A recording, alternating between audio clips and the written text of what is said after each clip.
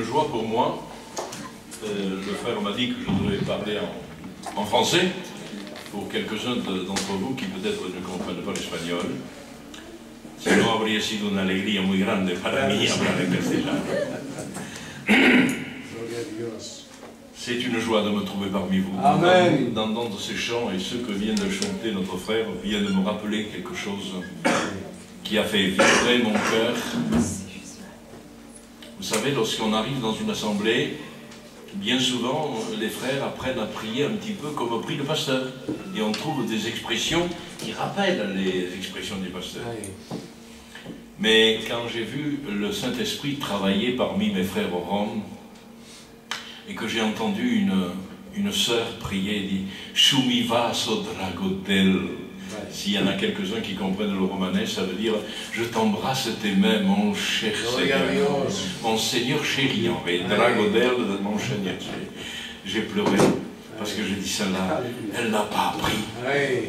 C'est sorti de son cœur. Et ça Amen. ce chant. En quelques mots, rapidement, je vais essayer de me présenter parce que je pense que la plupart d'entre vous ne me connaissent pas. J'étais dans les affaires et à ce moment-là, j'étais jeune, 26, 27 ans, je gagnais beaucoup d'argent. Le Seigneur m'avait touché, nous étions convertis avec mon épouse, baptisés du Saint-Esprit, et nous avons eu à cœur de prendre part aux besoins des serviteurs. À ce moment-là, la France avait des vues très courtes, on voyait l'Afrique seulement, puis c'était tout et encore. Et nous avons commencé à soutenir les serviteurs, et puis, quelque temps après, le Seigneur m'a dit non, toi tu vas aller prêcher ma parole. Ay, Gloria a Dios. Ça, C'était un problème, parce qu'il fallait que j'abandonne ma carrière et que je me prépare au service. Alors pendant deux ans, j'ai lutté avec Dieu parce que c'est une chose d'avoir le gâteau, de couper un morceau, et puis d'attendre qu'on vous donne un morceau. C'est différent. ay. Et le Seigneur m'a travaillé mon cœur jusqu'au jour où il m'a enlevé sa présence. Priais, c'est comme si je priais à ce mur. Alors je dis Seigneur, non. Rends-moi ta présence et je te donne tout ce que tu as. Le Seigneur m'a redonné sa présence et nous nous sommes préparés au service du Seigneur.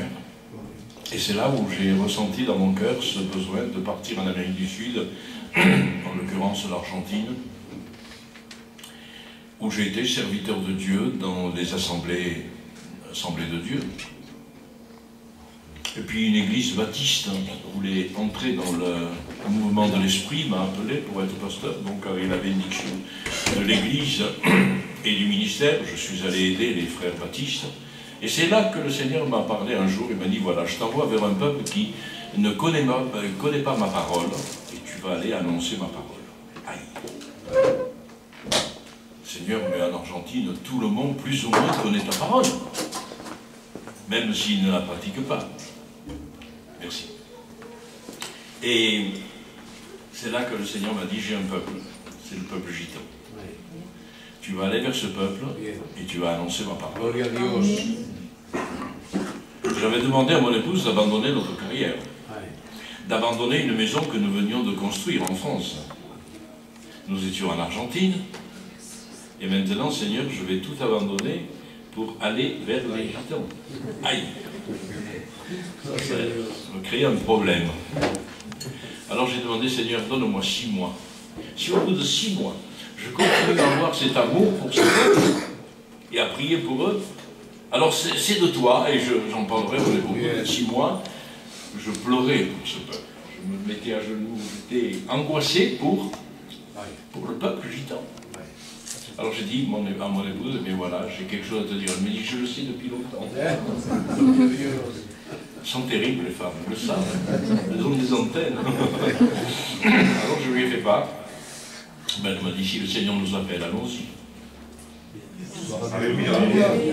Et nous avons commencé, avant d'arriver au galop, j'étais en espagnol, euh, le Seigneur m'a conduit vers les Roms. Et je suis rentré dans une maison de Rome pour la première fois. Le Seigneur m'a arrêté sur une avenue de Buenos Aires. J'avais toujours ma Bible. J'ai senti que Dieu me demandait de m'arrêter. Je me suis côté, commencé à prier, à lire la Bible, mais il me dit, j'ai senti dans mon cœur que le Seigneur, me, le Seigneur ne m'a pas parlé tous les jours, moi. hein. Le Seigneur ne me dit pas la couleur de la cravate que je dois mettre. Non, non, non, non. Les, fois que le Seigneur a parlé dans ma vie, je peux les compter sur les doigts de ma main et, encore. Je dis ça parce que, parce que parfois il y a des tendances où le Seigneur dit n'importe quoi. C'est pas le Seigneur qui dit n'importe quoi, hein. Vous comprenez ce que je veux dire. Et là, le Seigneur m'a dit c'est aujourd'hui. Je me tourne et il y avait une maison de gitans qui était en train de secouer les tapis. Je suis rentré. On m'a fait là-bas, j'ai tapé. Ils croyaient que je venais pour qu'on me dise les, les lignes de la main. J'ai dit non, non. Et qu'est-ce que vous voulez? Vous parlez de Jésus. Bon, rentrez. Et là, j'ai pris mon premier chayo, le premier thé, avec le samovar, qui a été suivi par des litres et des litres et des litres de samovar pour, pour faire rentrer la parole de Dieu. Ils m'ont écouté, ils m'ont permis de prier. Ils m'ont dit on a une famille qui peut-être serait intéressée aussi, et de famille en famille. Mais je vais vous dire quelque chose en passant, et en particulier pour les jeunes. Pendant quatre ans, j'ai bu du thé, j'ai visité des gitans, j'ai pas vu une conversion. Quatre ans. Ouais. J'ai dit, Seigneur, je me suis trompé. Je me suis trompé. Oh, j'étais reçu. Il me recevait gentiment, j'apprenais le romanesque, tout, mais pas de conversion. Et puis un jour, le- un gitan m'a dit, toi qui parles de ce Dieu tout-puissant, toi qui nous apportes cette parole-là, pourquoi ne tu veux pas visiter un tel? Son fils est très malade. Je vais le visiter. Il avait une hépatite euh, virale très grave. Mais ça a dit, il ne faut plus qu'il bouge. Coucher sans bouger. Je lui ai expliqué ce que je venais faire à cette famille et ils m'ont reçu. J'ai prié pour ce garçon. Ce garçon s'est levé, il dit Papa, je suis guéri. Ouais. Tu bouges pas? Ouais. Gloria a Dios. Non, papa, je suis guéri. Il a appelé le médecin, il a dit Bon, on refait toutes, toutes les analyses. Mais il dit Si on vient de les faire, c'est pas la peine. On refait toutes les analyses, je paye. Bien. Il refait les analyses, il n'y a eu plus rien. Et à partir de ce moment-là, ça a été un, un démarrage. Nous étions dans une famille euh, où il y avait une dame qui venait d'avoir un enfant. Chez les Roms, on ne s'approche pas d'une dame qui vient d'avoir un enfant, en particulier pour, pour plusieurs mois. Et euh, j'allais, je voulais, moi, bénir cet enfant. Ma- mon épouse m'a dit, ce que je viens d'entendre ne rentre pas, sinon tu ne prêches plus la parole. Ah bon? Elle m'a dit, on est- ici on est chez les Lévitiques. Ah bon?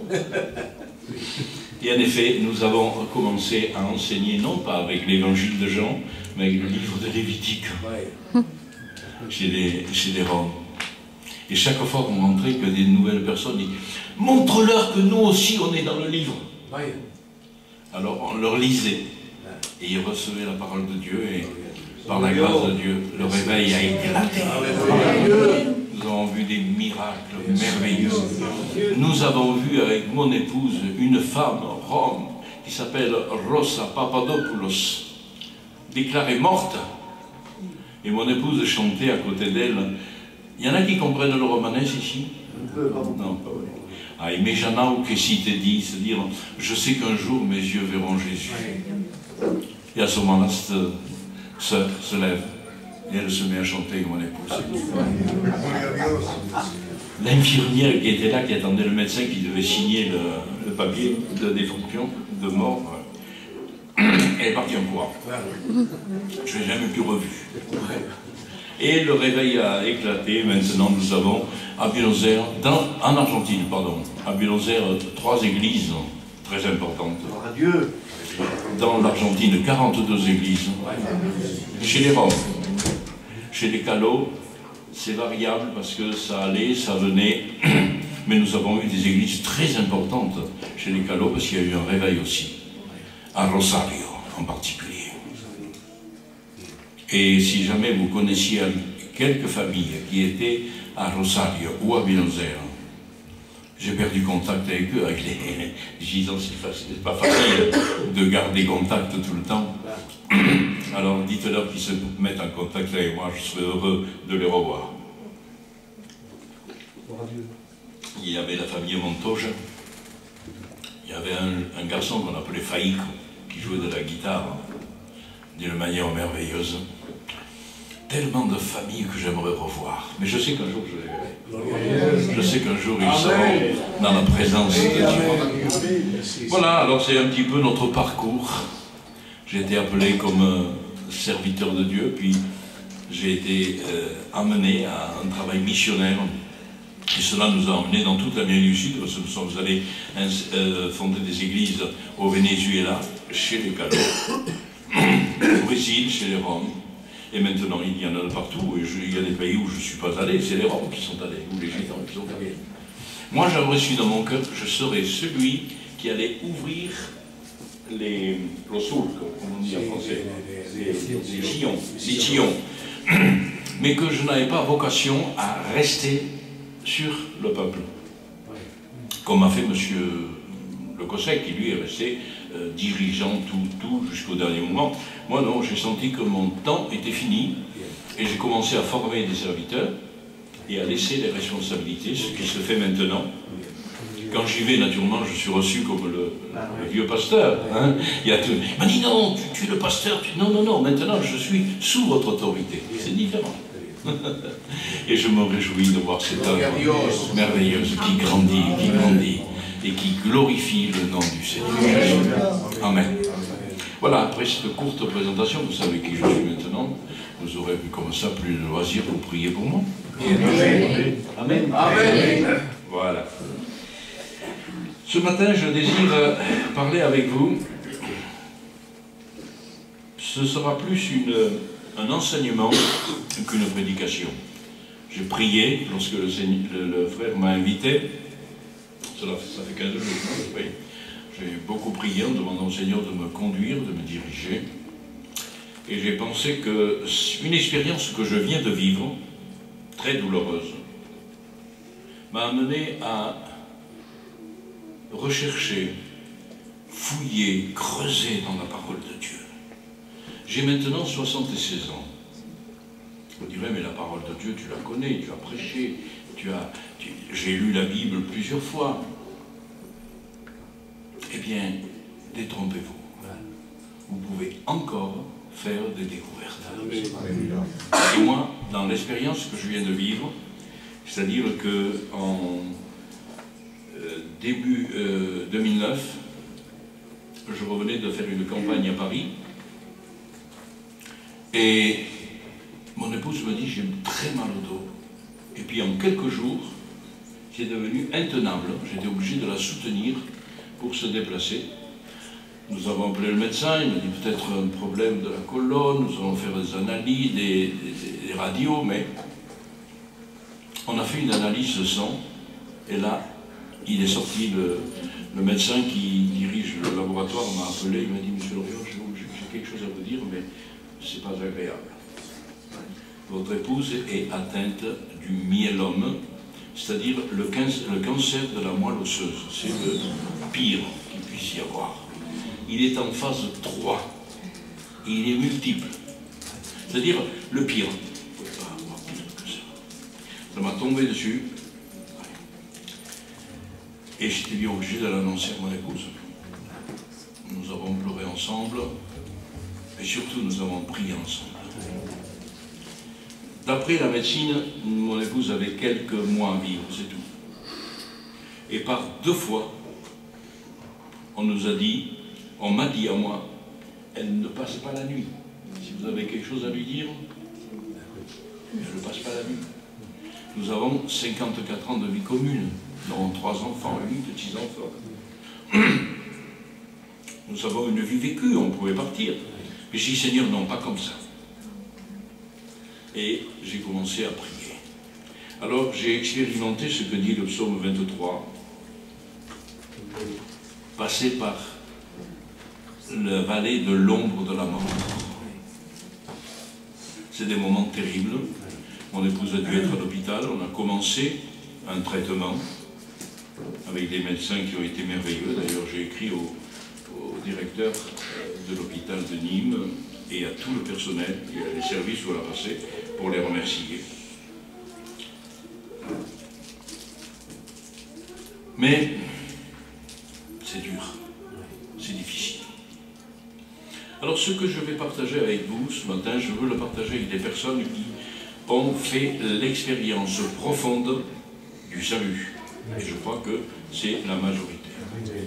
Mais je veux aussi me diriger vers des personnes qui ont leur vie en règle avec Dieu.